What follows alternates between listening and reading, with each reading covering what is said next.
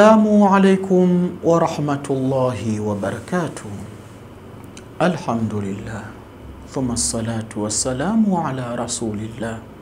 إخواني أما بعد أكمشكر الله تبارك وتعالى. نكوزي تاجي رحمة أمان زكي سبحانه سبحانه. زين فيك wa وأمه. huu ambaye si mwingine bali ni bwana mtume muhammadi sallallahu alaihi mtume ambaye ametumwa kwetu kwa sifa nyingi sana alizopewa naye Allah tabaraka wa taala, pale Mwenyezi Mungu subhana aliposema warafa'na laka dhikiraka. Ikhwani, ama anwani yangu leo inasema aqrab fil manami, yani mtu kuota ndoto ya nge usingizini. Melala ukamwona nge, nini maana yake kwa idhini yake Rahmani, insha Allah. Basi twende pamoja tuweze kuona mazito na matukufu yake Allah tabaraka wataala nini anachoongea na wewe katika ndoto yako. Nianze kusema nge inajulisha mwanamume, tena msengenyaji.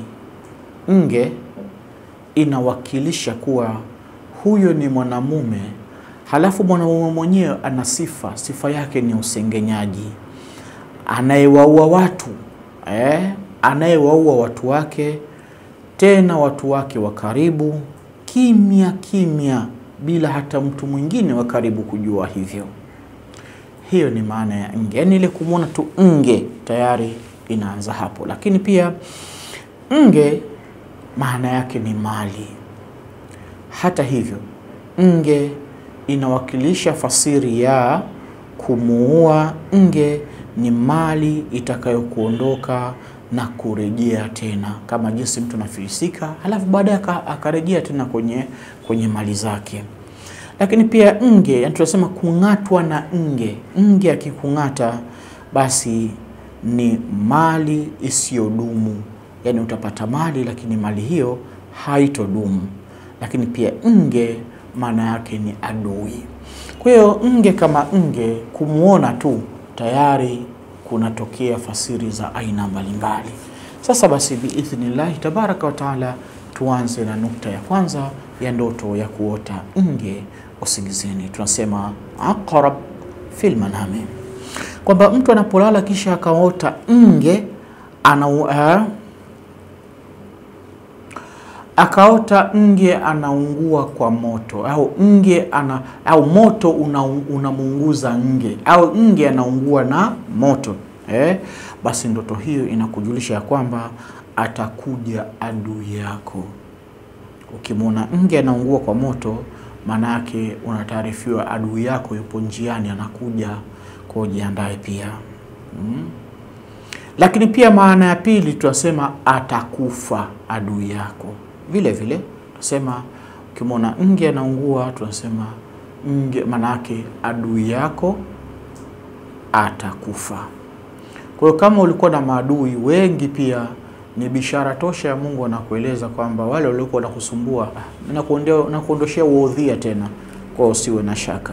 Ama nukta ya pili tunasema ya ndoto ya kuota nje usingizini, tunasema aqrabu fil manami, kwamba mtu anapolala kisha akaota kuwa kamwona nge kisha akamchukua na kumtupia mwanamke.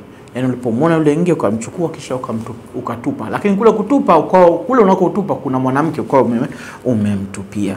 Basi ndoto hiyo inakujulisha ya kwamba utafanya machafu mengi kwa wanawake au kwa mwanamke huyo, utafanyia machafu mengi mwanamke huyo. Hiyo ni fasiri ya kwanza, lakini fasiri ya pili, utamwingilia mkeo kinyume cha maumbile. Ndio maana yake, utamwingilia mkeo kinyume cha maumbile, ndio maana uka, ukaona kwamba unachukua nge unamtupia mwanamke. Ama nukta ya tatu ya ndoto ya kuota nge usingizini, tunasema aqrabu fil manami, kwamba mtu anapolala kisha akaota kuwa kamwona nge katika su, uh, suruali yake, basi ndio zinakujulisha ya kwamba mwanamke wako ni fisadi. Hiyo ndiyo maana yake. Kwa hiyo achukua chukua tahadhari kwa, kwa mkeo pia. Ni sawa Mungu ana, anaongea na wewe kwa namna gani alivyo mkeo na ni fisadi wa namna gani? Fisadi ni mtu ambaye anafanya jambo baya lisiloridhika, lisiloridhisha, eh, ni fisadi tu. Kwa hiyo jaribu kumrejesha mkeo katika siratun mustaqim, katika njia iliyonyooka, ataongoka kwa idhini yake Rahmani. Ama nukta ya nne ya ndoto ya kuota nje usingizini, tunasema aqrabu fil manami, kwamba mtu anapolala kisha akaota kuwa akaota ya kwamba kuwa kamwona nje kitandani kwake e, au kamwota nje kitandani kwako, basi ndoto inakujulisha kwamba mkeo ni mhuni. E, kamwona nge yupo kitandani kwako, basi mkeo ni mhuni. Ama nukta ya tano ya ndoto ya kuota nje usingizini, tunasema aqrabu fil manami, ya kwamba mtu anapolala kisha akaota kuwa kamuona nge kisha akamchukua na akammeza. Ukamwona nge na ukamchukua yule nge uka ukameza. basi ndoto hiyo inakujulisha ya kwamba utafichua siri zako kwa adui zako adui zako utaenda uh, wafichulia siri zako.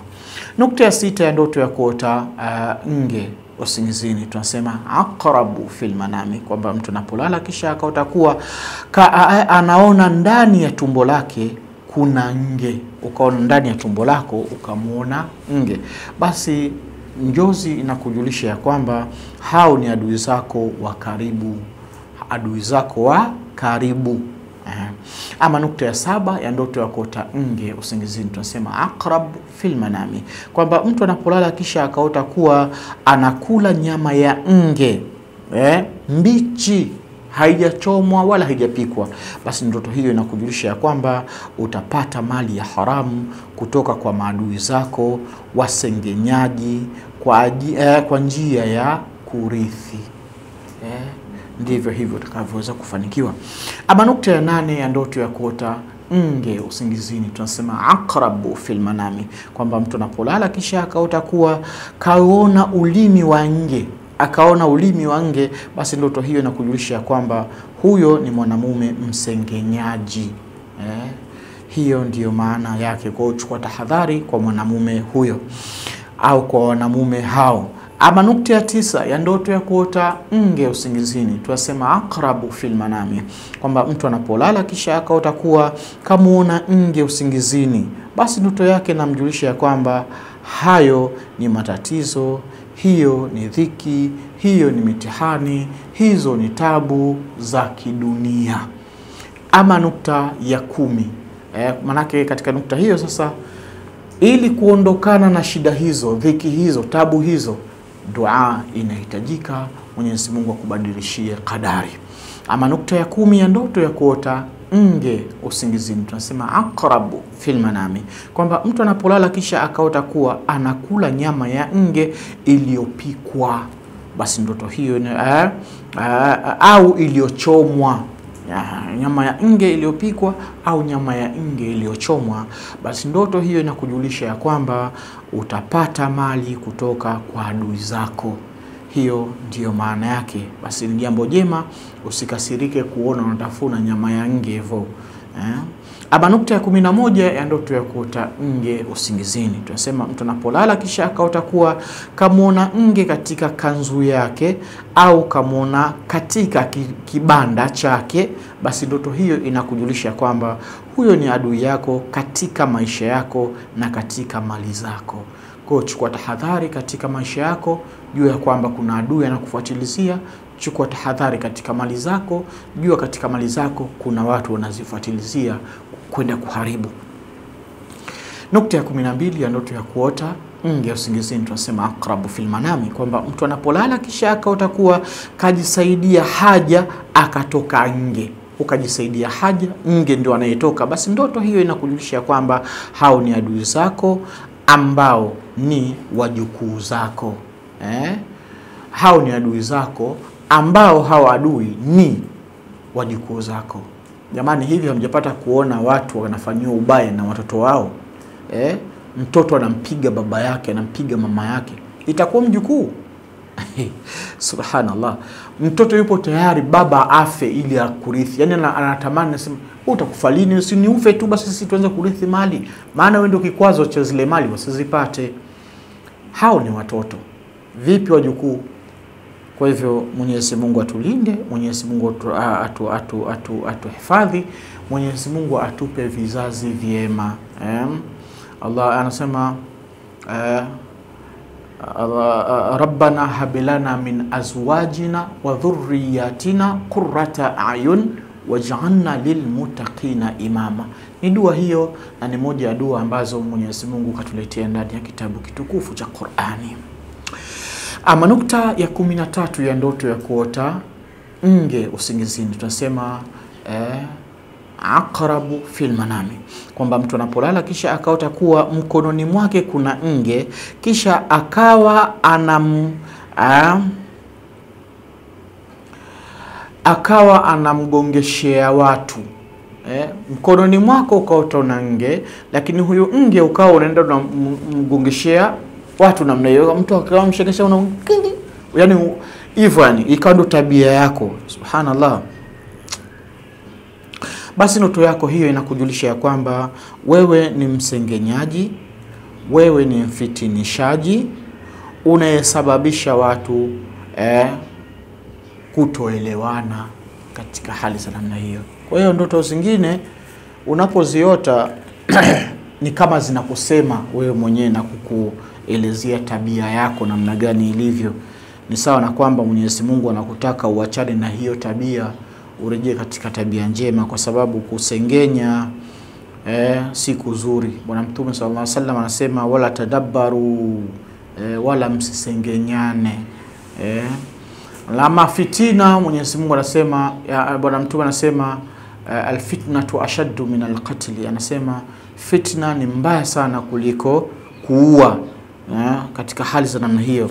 Kwa hiyo Mwenyezi Mungu atulinde. Ama nukta ya kumi na nne, mtu anapolala kisha akaota kuwa kaona kitu eh, akawa anakifananisha na nge, yaani ukakiona kitu lakini mawazo yako na akili na ni mtu eh, unayemfananisha na adui yako, ni mtu unayemfananisha na adui yako, yani yupo mtu unayemfananisha na adui yako katika hali ya kawaida hivyo, na ni sawa na kwamba ile ndoto inakuja kuambia huyo unayemfananisha sio yule unayemdhania wewe, yani kama inakuja kuelezea kwamba huyo unadhania kwamba mimi nimemwona fulani bana. Yani jamani wewe kunidhulumu.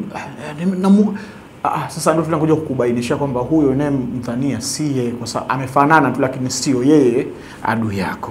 Ama nukta ya kumi na tano ya ndoto ya kuota nge usingizini, tunasema aqrab fil manami, kwamba mtu anapolala kisha akaota kuwa nge anamuingia mdomoni mwake, yani ukaota nge anaingia mdomoni mwako, basi ndoto inakujulisha ya kwamba huyo ni adui yako aliyopo ndani ya nyumba yako.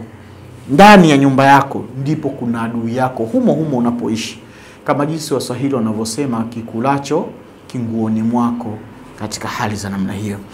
Ama nukta ya kumi na sita ya ndoto ya kuota nge usingizini, tunasema aqrabu fil manami, kwamba mtu anapolala kisha akaota kuwa nge anamtoka mdomoni mwake, ukaota nge anatoka mdomoni, basi ndoto hiyo inakujulisha kwamba hayo ni au huyo ni adui yako ndani ya nyumba yako, eh, vile vile kwamba anatoka katika eh, atatoka katika nyumba yako. Nukta ya kumi na saba ya ndoto ya kuota nge usingizini, kwamba mtu anapolala kisha akaota kuwa nge kampiga kwa mkia wake. e, ukaota nge amekupiga kwa ule mkia wake, basi njozi e, pasina kukung'ata. E, basi ndoto hiyo inakujulisha ya kwamba unapanga ugomvi wa kumgombanisha mkeo, unapanga ugomvi wa kumgombanisha mkeo, kwa sababu wapo watu ambao wao huwa wanatafutaga tu sababu kwa wake zao. Eh, mke mtulivu, mke hana shida, lakini mume muda wote tu ni kupanga namna gani nikamgombeze mke nikamgombeze mke. Kwa hiyo ipo katika hali za namna na Mungu anakuumbua anakuambia hiyo tabia si njema, basi mbona achana nayo basi. Eh, mheshimu mkeo, eh, mstiri mkeo, mpambanie mkeo katika hali za namna hiyo insha Allah. Ikhwani zangu, ama niende sehemu ya pili. Hiyo ilikuwa ni sehemu ya kwanza, naenda sehemu ya pili ya ndoto hii ya kuota nge usingizini. Na katika sehemu hii ya pili tunazungumzia binti mwanamwari ambaye hajapata kuolewa akiota nge usingizini.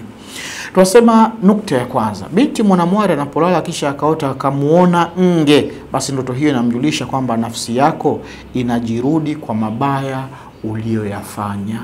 Ndiyo maana yake kwako wewe binti mwanamwari. Ama nukta ya pili ya ndoto ya kuota nge usingizini kwa binti mwanamwari, tunasema binti mwanamwari anapolala kisha akaota kuwa nge anamsogelea basi ndoto hiyo inakujulisha wewe binti kwamba kuna mtu mwovu anakusogelea, anajifanya mwema, kumbe anaku eh, eh, kumbe anakuongopea katika hali za namna hiyo. Kwa hiyo usione ka kijana fulani huko anakupa maneno matamu na nini ukadhani kwamba ndio mwema, kumbe ndio hatari ya, ya Rahmani. Ama nukta ya tatu ya ndoto ya kuota nge usingizini kwa binti mwanamwari, tunasema akrabu fil manami, kwamba binti mwanamwari anapolala kisha akamwona nge yupo kitandani kwake, basi ndoto hiyo, ewe binti, na kujulisha kwamba kuna mtu anakuzungumzia mambo yako mabaya au mambo mabaya, anakuzungumzia mambo mabaya eh, edha mambo hayo mabaya unayo, edha pia mambo hayo mabaya haunayo, lakini anakuzungumzia. Ama nukta ya nne ya ndoto ya kuota nge usingizini kwa binti mwanamwari, tunasema aqrabu fil manami, kwamba binti mwanamwari anapolala kisha akaota kuwa nge yupo katika begi lake au katika pochi lako au kimkoba chako, basi ndoto hiyo inakujulisha ya kwamba unatoa mali zako kwa vitu visivyo na faida kwako. Hiyo ndiyo maana. Ama nukta ya tano ya ndoto ya kuota nje usingizini tunasema akrabu fil manami kwa binti mwanamwari. Kunasema binti mwanamwari anapolala kisha akaota kuwa anamuua nge, basi ndoto hiyo inamjulisha ya kwamba utapatwa changamoto ya kupata hasara katika mali zako, lakini baada ya muda zitarudi tena. Hiyo ndiyo maana na ya nukta hiyo. Ama nukta sehemu ya pili ya ndoto hii ya kuota nge kwa mwanamke aliyeolewa. Tunaongelea mwanamke aliyeolewa anapoota nge. Tunasema nukta ya kwanza, mwanamke aliyeolewa anapolala kisha akaota kuwa anakula nge mbichi, basi ndoto hiyo inamjulisha ya kwamba utapata mali ya haramu. Ama nukta ya pili ya ndoto ya kuota nge kwa mwanamke aliyeolewa, tunasema akrabu fil manami, kwamba mwanamke aliyeolewa anapolala kisha akaota kuwa kamwona nge yupo kwa mtu wake wa karibu, basi ndoto hiyo inamjulisha huyu mama ya kwamba mtu huyo ata, atafichua siri zako na mambo yako ambayo hut, ha, hutaki mtu mwingine ajue. Ama nukta ya tatu ya ndoto ya kuota uh, nge usingizini kwa mwanamke aliyeolewa, tunasema mwanamke aliyeolewa anapolala kisha akaota kuwa anasogelewa uh, anamsogelea uh, anapolala kisha akaota nge anamsogelea ili amng'ate, basi ndoto hiyo inamjulisha huyu mama ya kwamba utapatwa na hasadi kwa mwenye kifundo kwako, yani kwa mtu aliyekuwa na chuki kwake kwako anayekuchukia ndio atakuletea hasadi kwako. Ama nukta ya nne ya ndoto ya kuota nge usingizini, tunasema akrabu fil manami kwa mwanamke aliyeolewa. Mwanamke aliyeolewa anapolala kisha akaota kuwa nge yupo kitandani kwako, ukamwona nge yupo kitandani kwako, basi ndoto hiyo inakujulisha ya kwamba kuna mambo ambayo mumeo anayafanya na wewe huyajui. Nukta ya tano ya ndoto ya kuota nge usingizini kwa mwanamke aliyeolewa. Mwanamke aliyeolewa anapolala kisha akaota kuwa uh, tumbo lake limejaa nge, tumbo lake limejaa nge, basi jozi hiyo inamjulisha ya kwamba uh, waliokuzunguka karibu yako wanakufanyia uadui. Hiyo ndiyo maana. Ama nukta ya sita ya ndoto ya kuota nge usingizini, tunasema akrabu fil manami kwa mwanamke aliyeolewa. Tunasema mwanamke aliolewa anapolala kisha akaota kuwa nge yupo jirani yake au karibu yake, basi njozi hiyo inakujulisha ewe mama ya kwamba Mwenyezi Mungu atakuokoa kutoka eh, kutokana na balaa linalokusogelea.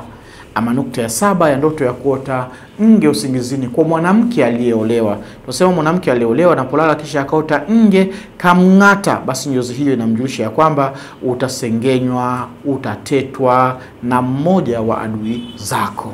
Ikhwani, naenda sehemu ya nne ya ndoto ya kuota nge usingizini. Tunasema sehemu hii ya nne inamzungumzia mwanamke mjamzito.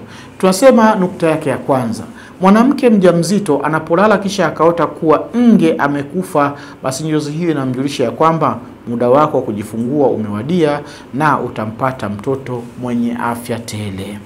Sehemu ya tano ya ndoto hii ya kuota nge usingizini. Sehemu ya tano ni mwanamke aliyeachika, aliyepewa talaka akiota ndoto ya nge. Nini maana yake?